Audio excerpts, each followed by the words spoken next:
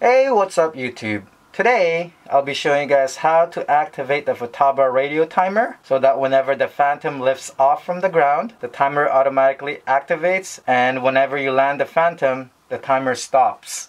So, I'll show you guys what I mean by that. So turn on your radio. As you can see up here, this is the timer and to activate it, whenever you start your Phantom, basically you have to go like that and then to activate it I set up my on switch when I elevate the phantom. So as I press the joystick towards up the timer will start running automatically. So as you can see right here I'm going to press up on my left stick here.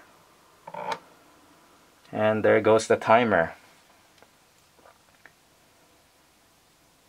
Okay, so as I land my Phantom, I set up my timer so that when I land, it automatically turns off the timer. As I put the joystick down, all the way down, the timer stops. Okay, and then I program the SH switch over here to reset the timer. Start it on,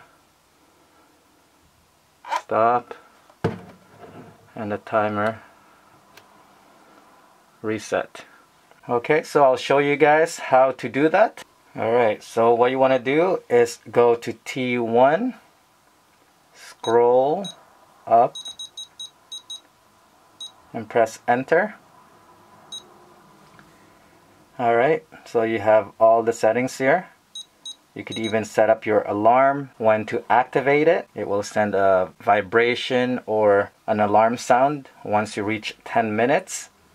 So to activate the start and stop for your timer, you have to go over here, press enter,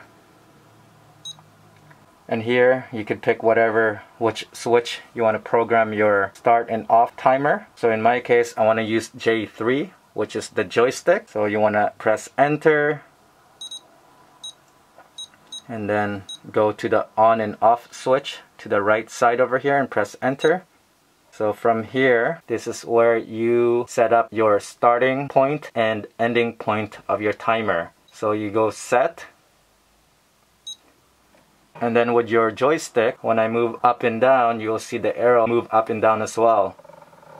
So you could set up which starting point you want to activate your timer. In my case, I want to activate the timer in that position. So once you've decided which position you want it to activate, all you have to do is just press enter.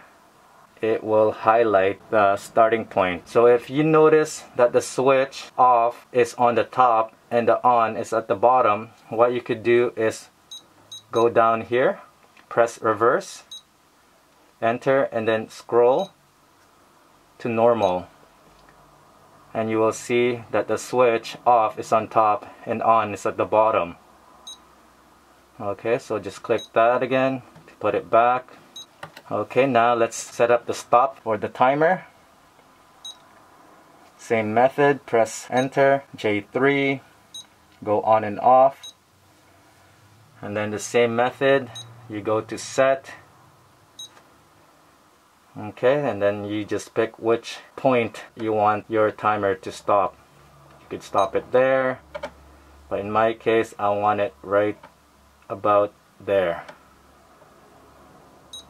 Okay and again if this is backward all you have to do is just go to the norm and put it in reverse.